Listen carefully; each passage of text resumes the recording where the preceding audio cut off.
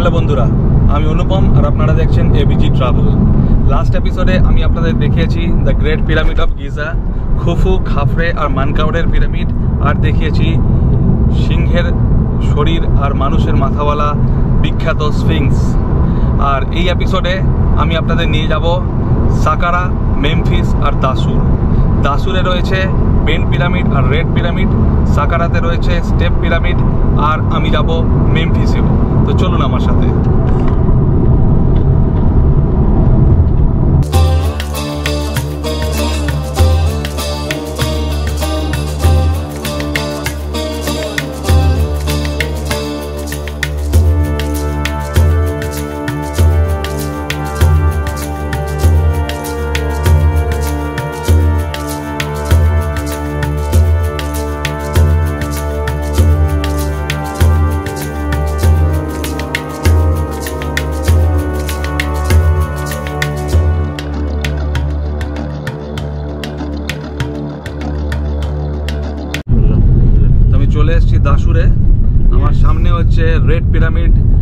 সাইডে হচ্ছে bend pyramid. এই দেখুন, এই হচ্ছে রেড পিরামিড, সামনে দেখা যাচ্ছে। আর ওই যে দূরে দেখা যাচ্ছে, ওটা হচ্ছে বেন্ড পিরামিড। তো প্রথমে আমি চলে এসেছি রেড পিরামিডের সামনে। তো আমি রেড পিরামিডের ভেতরেও ঢুকবো। আমার টিকিট অলরেডি এই ট্যুরটার সাথে ইনক্লুড করা রয়েছে। টিকিট আমাকে আমার গাইড অলরেডি দিয়ে দিয়েছে। তো আমার গাইড বলল যে, রেড পিরামিডের ভেতরে ঢুকে সমস্ত কিছু দেখে আবার এই জায়গাতেই আসতে। এখানেই গাইড দাঁড়িয়ে থাকবে। এই হচ্ছে রেড পিরামিড। রেড পিরামিড আর বেন্ড পিরামিড দুটোই কিন্তু বানিয়েছিলেন ফারাও স্নিফেরু। ফারাও স্নিফেরু ছিলেন ফারাও খুফুর বাবা। এই পিরামিডটি কিন্তু মিশরের পিরামিড নির্মাণের প্রথম সফল প্রচেষ্টা বলা যেতে পারে। কারণ এর আগে যে পিরামিডগুলো তৈরি হয়েছিল, বেন্ড পিরামিড এবং স্টেপ পিরামিড, সেগুলো কিন্তু এক্স্যাক্টলি পিরামিড আকৃতির হয়নি। এখানে সিঁড়ি রয়েছে। এই সিঁড়ি দিয়ে পিরামিডে ঢোকার যে গেট সেই পর্যন্ত উঠতে হবে। ওই দেখুন ওপরে গেট আর এই সিঁড়ি দিয়ে এখন আমাকে উঠতে হবে। এই রেড পিরামিডের উচ্চতা হচ্ছে একশো পাঁচ মিটার। এটি ইজিপ্টের থার্ড হাইয়েস্ট পিরামিড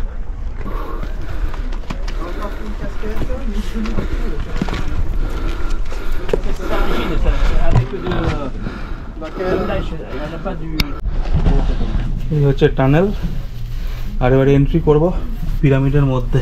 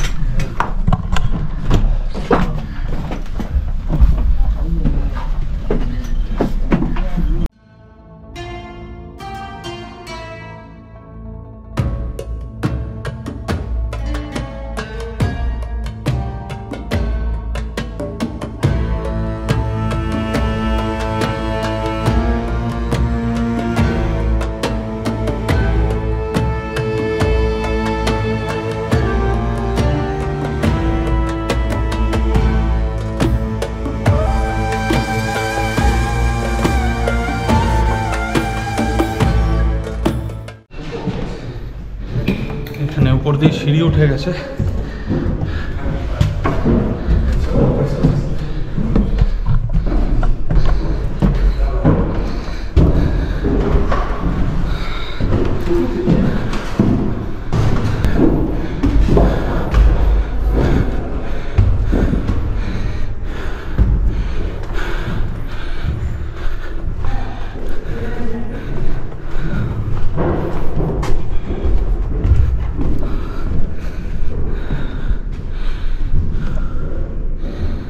এখানে একটা রুম।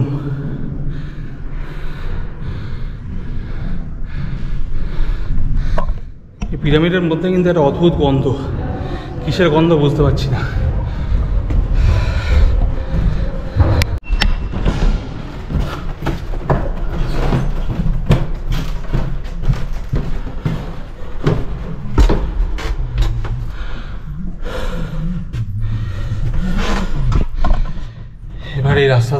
উঠতে হবে উঠতে তো অবস্থা খারাপ হয়ে যাবে, অনেকটা রাস্তা।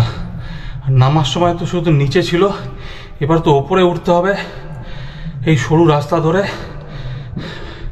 মাথা নিচু করে, জানি না কি করব। কিন্তু বেরোতে তো হবেই, এই পিরামিডের মধ্যে তো আর থাকতে পারব না।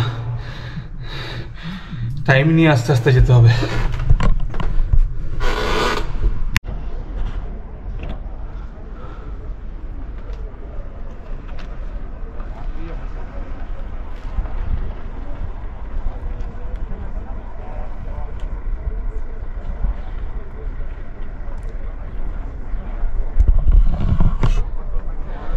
চারদিকে কিন্তু ধুধু মরুভূমি।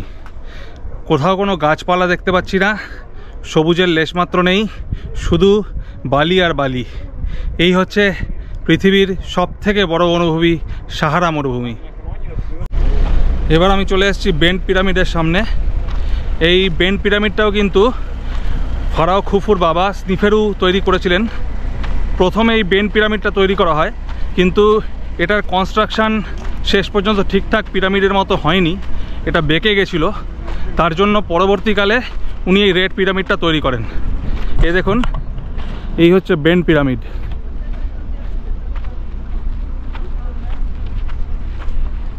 এই পিরামিডটা হচ্ছে মিশরীয় সভ্যতার একেবারে প্রথম দিককার পিরামিড।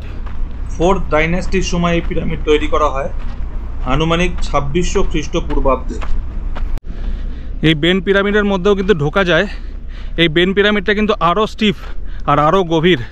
আমি রেড পিরামিডে ঢুকলাম, ওটা ছিল সিক্সটি ফাইভ মিটার আর এই বেন পিরামিডটার গভীরতা হচ্ছে এইট্টি ফাইভ মিটার আর রাস্তাটা আরও বেশি খাড়াই মানে আরও বেশি খাড়াই রাস্তায় আপনাকে নামতে হবে আর ওঠার সময় খাড়াই রাস্তা বেয়ে মাথা নিচু করে উঠতে হবে। তো আমি আর এই পিরামিডটার মধ্যে ঢুকবো না জাস্ট এন্ট্রান্স গেট পর্যন্ত যাব, আপনাদের দেখাবো। আমার সামনে হচ্ছে পিরামিডে ওঠার রাস্তা। এই দেখুন, এই যে সিঁড়ি দেখছেন, এই সিঁড়ি বেয়ে ওপরে উঠতে হবে আর তারপর এন্ট্রান্স দিয়ে নিচে নামতে হবে পিরামিডের মধ্যে। আমি আর এই পিরামিডের মধ্যে নামবো না। বাইরে থেকে পিরামিডটাকে দেখলাম আর অবশ্যই পিরামিডের গায়ে হাত দিয়ে একবার পিরামিডটাকে ছুঁয়ে যাব। সাড়ে চার হাজার বছরেরও বেশি পুরনো পিরামিড। এত কাছে এসে পিরামিডটা তো একবার স্পর্শ করতেই হয়, তাই না? চলুন।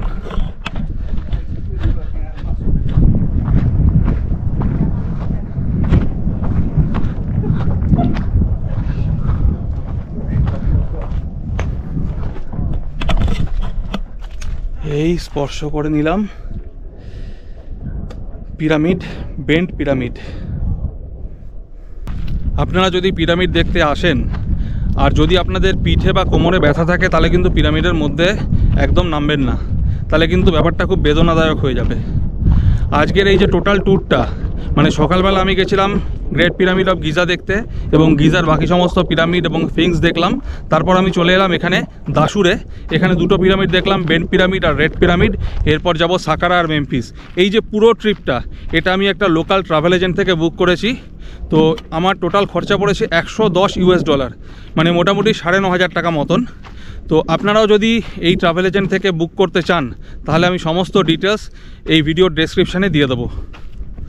আপনারা যদি শুধু গিজার পিরামিড যেতে চান মানে সাকারাম মেমফিস বাদ দিয়ে শুধু যদি গিজার পিরামিড যান, তাহলে আপনাদের খরচা পড়বে মোটামুটি তিরিশ ইউএস ডলার থেকে চল্লিশ ইউএস ডলার আর যদি ট্যুর গাইড সাথে নিতে চান, তাহলে আরও এক্সট্রা তিরিশ থেকে চল্লিশ ইউএস ডলার পড়বে। মোটামুটি রেটটা এরকমই, অল্প বিস্তর বার্গেনিং চলে।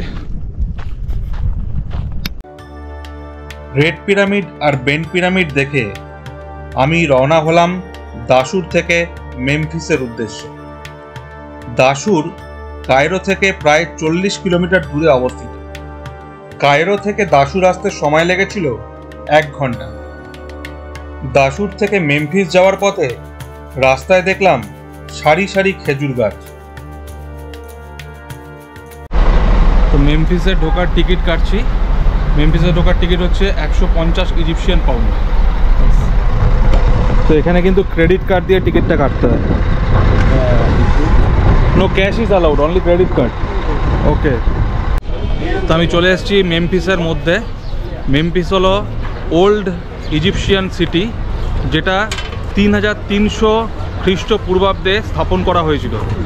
তো তার আগে ইজিপ্ট দুভাগে বিভক্ত ছিল একটা হচ্ছে লোয়ার ইজিপ্ট একটা হচ্ছে আপার ইজিপ্ট তারপর যখন ইজিপ্ট ইউনাইটেড হয়, তখন তার কিংডম হয় এই মেমফিস সিটিতে।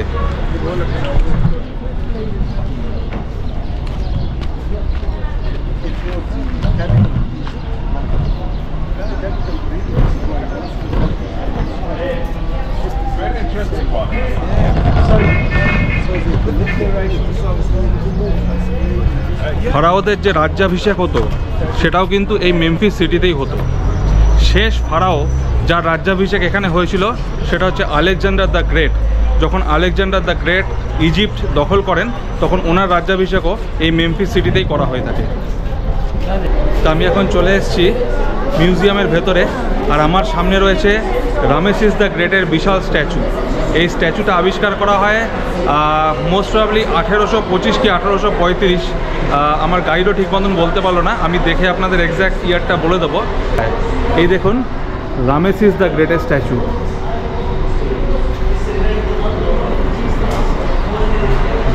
এবার ওপর থেকে ভালো করে আপনাদের স্ট্যাচুটা দেখাচ্ছি। এ দেখুন।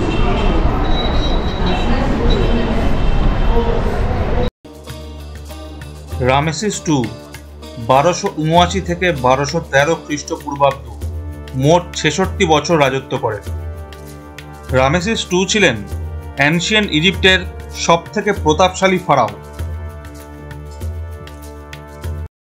রামেসিস দ্য গ্রেটের এই স্ট্যাচুটা পাওয়া যায় নাইল রিভার থেকে। নাইল রিভারের মধ্যে এই স্ট্যাচুটা আপসাইড ডাউন অবস্থায় পড়েছিল এবং সবাই দেখে ভাবছিল এটা বোধহয় একটা বিশাল বড় ক্রোকোডাইল। কিন্তু পরবর্তীকালে এই স্ট্যাচুটাকে আবিষ্কার করা হয় এবং এই মিউজিয়ামের মধ্যে এই স্ট্যাচুটাকে রাখা হয়।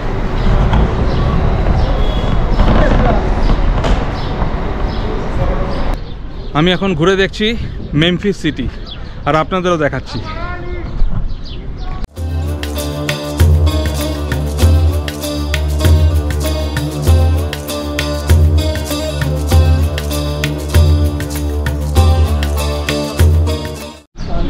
এই যে মূর্তিটা দেখছেন, এটা রামেসিস টু এর, রামেসিস দ্য গ্রেটের উনি মাঝখানে বসে রয়েছেন এবং ওনার দুই পাশে দুইজন গডেস এর মধ্যে ডান দিকের যে গডেস উনি হচ্ছেন হাথর, উনি হচ্ছেন লাভের দেবতা।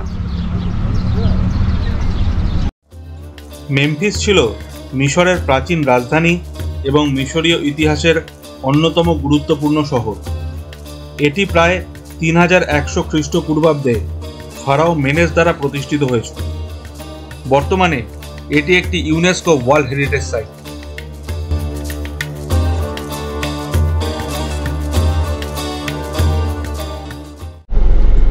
এবার আমি চলে এসেছি সাকারাতে স্টেপ পিরামিড দেখতে।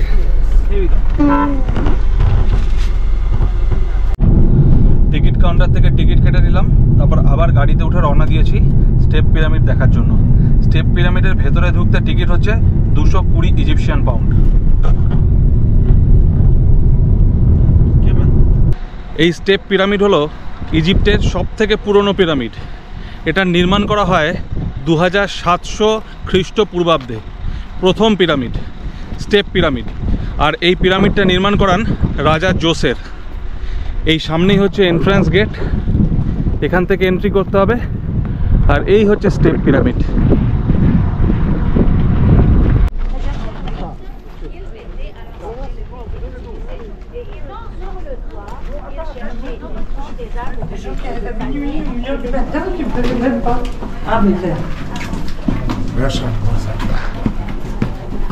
So look at this. Look at the ceilings.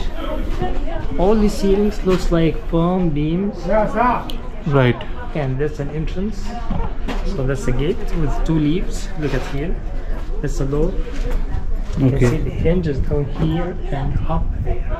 Okay okay It's a door with two leaves. There's a column of 40 columns in front of it. Forty columns Yes, these columns looks like bundles of papyrus tied together, and you can see some of these blocks they are darker than the others. The darker ones they are original ones. The white ones they were added by uh, French Egyptologists. এখানে total চল্লিশটা column রয়েছে আর এই total যে বিল্ডিংটা এটার যে কনস্ট্রাকশনের যে আইডিয়া যে ডিজাইন সেটা করেছিলেন এম হোতেব নামে রাজার যে প্রিস ছিলেন উনি। এন্ট্রান্স দিয়ে ঢুকে এবার আমি চলে এলাম স্টেপ পিরামিডের সামনে। এই দেখুন এই হচ্ছে step pyramid As I told you before, this pyramid was just started.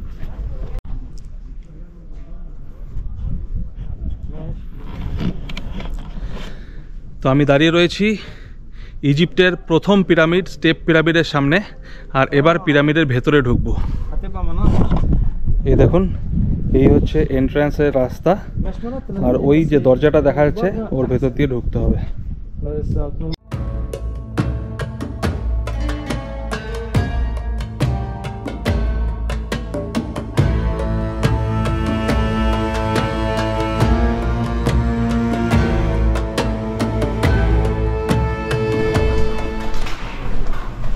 This is much easier, huh? Yes.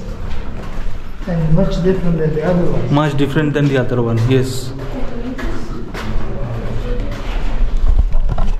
এই পিরামিডের মধ্যে ঢোকাটা কিন্তু খুবই ইজি আর রাস্তাটা খুবই ভালো পুরোপুরি আলাদা বাকি পিরামিডগুলোর থেকে এটা হচ্ছে step pyramid first Egyptian pyramid hello hi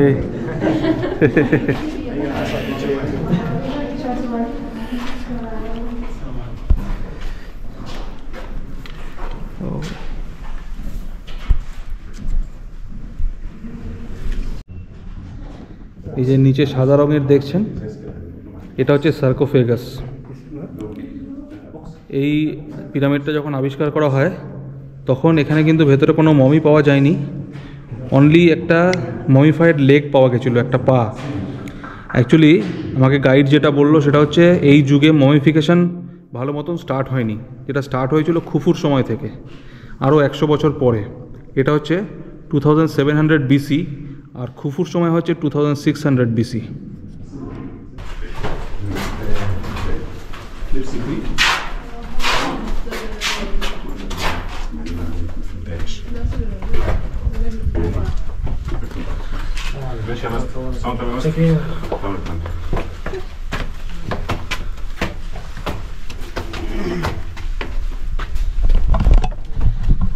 এই পিরামিডটা খুব বেশি লম্বা না গভীরও না খুব বেশি খাড়াই রাস্তাও নেই ঢোকা একদম ইজি তাই আপনি যদি আর কোনো পিরামিডে ঢুকতে নাও পারেন এই পিরামিডটাতে অবশ্যই আসবেন Here is the compass. Okay And let's see. Look. This is to the true north. This is okay this is exactly the north yes. Zero Okay. degree to the north, but my telephone is in Arabic. Okay I think you're familiar with these numbers. Yes, I understood from the Because these, num- these numbers is Indian numbers.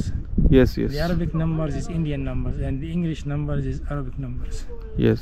So you may know this is like look to the to the true north. Yeah, it's north. Zero Uh, degree it is north. indicating exactly the zero degree north. Yes.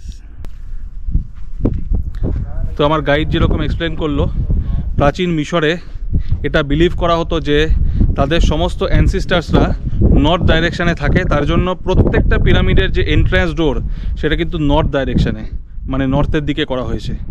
এটা আমি জানতাম না, এই প্রথম জানলাম। Step pyramid দেখে বেরিয়ে যাচ্ছি। আবার এন্ট্রান্স যেখান দিয়ে ঢুকেছিলাম, সেখান দিয়েই ফেরত যাচ্ছি। এন্ট্রান্সটাও কিন্তু ভারী সুন্দর। এই যে এন্ট্রান্সে এতগুলো পিলার রয়েছে এন্ট্রান্সের যে ডিজাইন এবং পিরামিডের যে ডিজাইন পুরোটাই কিন্তু করেছিলেন কিং জোসেরের যিনি প্রিস ছিলেন, ওনার নাম ছিল ইমহোতেপ।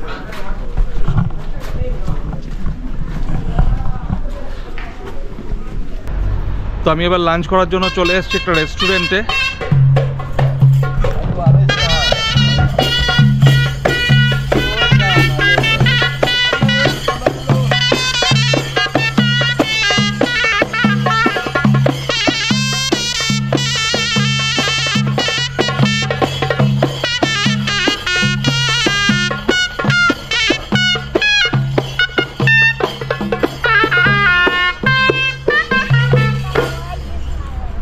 রেস্টুরেন্টে ঢুকতেই বাজনা বাজিয়ে অভ্যর্থনা করা হলো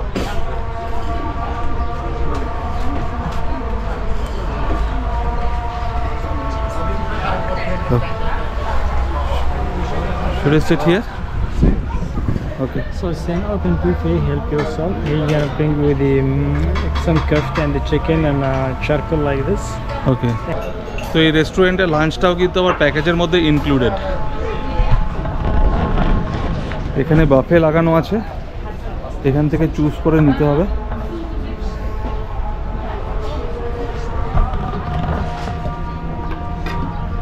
রাইস আছে।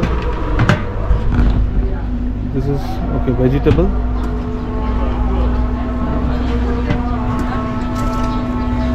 this the koshari okay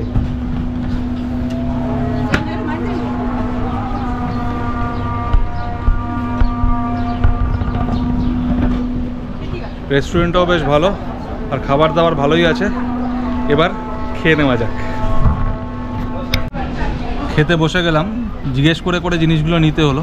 অনেক কিছু নিয়ে এসেছি, দেখাচ্ছি আপনাদের। এগুলো সবই এখানকার লোকাল খাবার। এটা হচ্ছে ফলাফল, বলল এটা ফলাফল। আমি ফলাফলের কথা অনেক শুনেছি, আজকে খেয়ে দেখব। এখানে রাইস দিয়েছে, একটা আলুর তরকারি, আর এখানে আরেকটা রকমের তরকারি দিয়েছে। আর এই দেখুন, এখানে হচ্ছে বারবিকিউ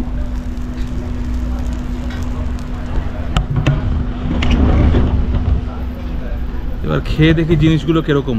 আচ্ছা ওখানে কোশারিও ছিল। কোশারি একটা খুবই ফেমাস ইজিপশিয়ান ডিশ মানে ইজিপ্টে খুবই ফেমাস তো কোশারিটা আমি এগুলো খাওয়ার পরে আলাদা করে খাব।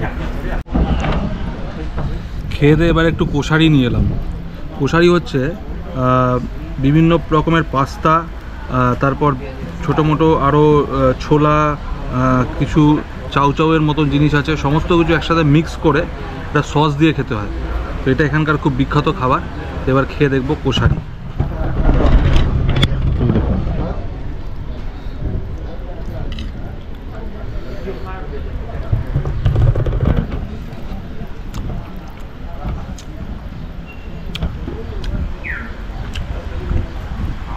সসটা ওই টমেটো সসের যে পাস্তা হয় সেই টমেটো সস মানে টমেটো পিউরি দিয়ে বানানো আর কি। খেতে মোটামুটি খারাপ না অনেকটা ওই পাস্তার মতনই। টমেটো পাস্তা কীরকম হয় রেড রেড সস দিয়ে যে পাস্তা হয় সেরকম।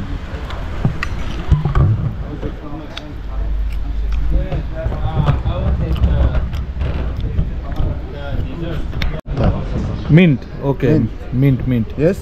mint and this is called chai. Yes. okay. Mint chai. Chai. okay. So you you give uh, milk in the chai? No. No. no milk. Only only the chai. Okay. Yes. okay.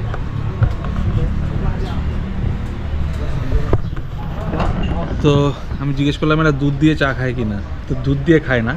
এদের চাটা কিন্তু এরকম লিকারি হয়। আর এরাও বলে চায় দেখুন একটা পাত্রে চিনি দিয়ে গেছে। আর একটা পাত্রে চা। তবে এখানে একটা স্পেশাল জিনিস হলো এরা চা পাতাটাকে ছাকে না, নিচে চা পাতা রয়েছে। তো চাটা ওপর দিয়ে খেতে হয়, চা পাতাটা নিচে থাকে।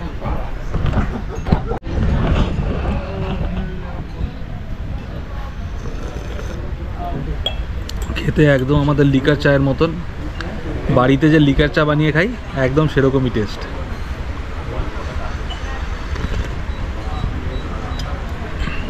ঠিকই আছে, নামও সেম টেস্টও সেম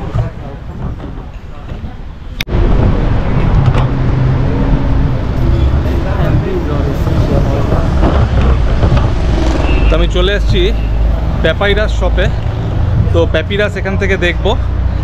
প্যাপিরাস হচ্ছে প্রাচীন ইজিপ্টে মানে প্রাচীন মিশরে প্রথম কাগজ তৈরি করা হয় প্যাপিরাস গাছ থেকে। তো সেই প্যাপিরাস গাছ থেকে কীভাবে কাগজ তৈরি করা হয়েছিল আর সেগুলো কীরকম দেখতে, সেটাই মিউজিয়ামে গিয়ে সরি মিউজিয়াম না, এটা একটা শপ এখানে গিয়ে দেখতে পাবো এই দেখুন।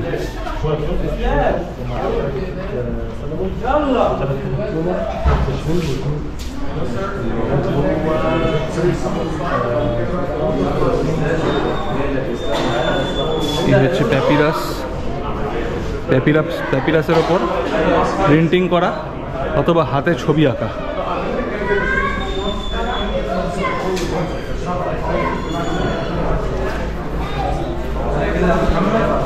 এই হচ্ছে Anubis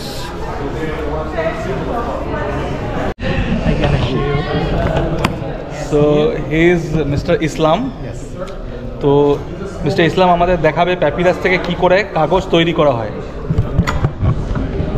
Before we start, brother, welcome to Egypt, especially in our in our museum. This is the plant we made paper from it, which we call it papyrus or papyrus. Aquatic plant needs to grow water and the sun.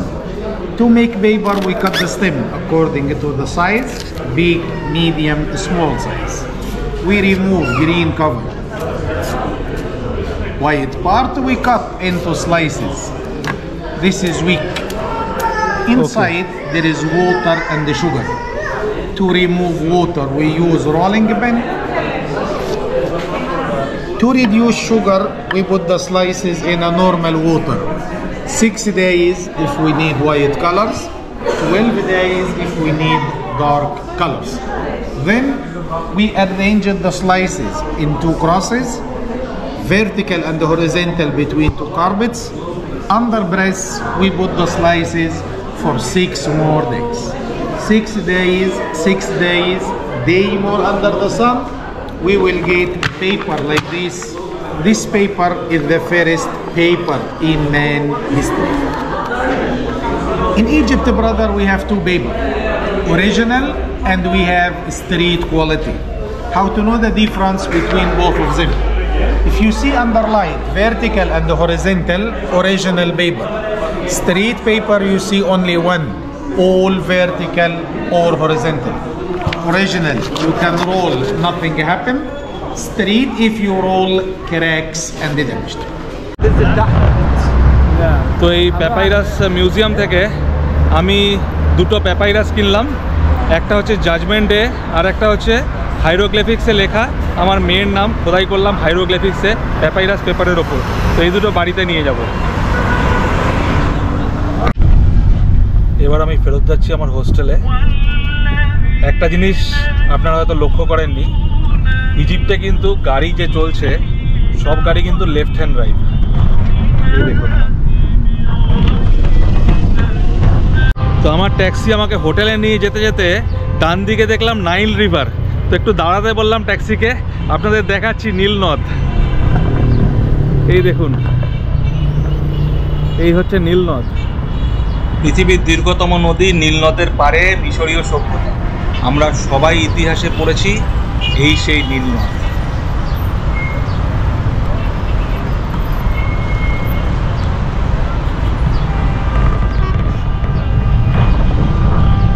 ইজিপ্টে আসার পর এই প্রথম নীল নদের দর্শন পেলাম। তাই আপনাদেরও একবার দেখিয়ে নিলাম। নীলনদ দেখতে দেখতে আমি পৌঁছে গেলাম আমার হোস্টেলে। আশা করি আজকের ভিডিওটা আপনাদের ভালো লেগেছে। যদি ভালো লেগে থাকে, তাহলে চ্যানেলটাকে সাবস্ক্রাইব করে দেবেন আর নিচের বেল আইকনটাকেও ক্লিক করে দেবেন, যাতে আমার পরবর্তী ভিডিও সরাসরি আপনাদের কাছে পৌঁছে যেতে পারে। ভালো থাকুন, সুস্থ থাকুন, আর দেখতে থাকুন এবিজি ট্রাভেল